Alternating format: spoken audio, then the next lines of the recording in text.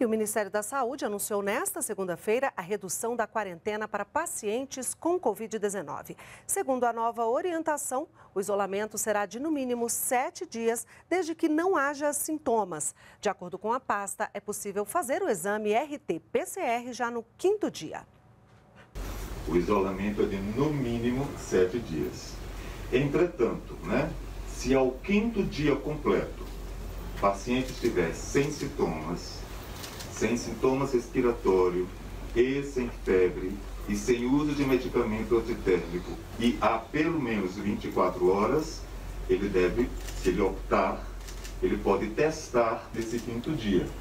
Nosso isolamento é de sete dias, mas ele pode testar no quinto dia, desde que ele esteja sem sintomas, sem febre, sem uso de medicamento antitérmico e por pelo menos 24 horas.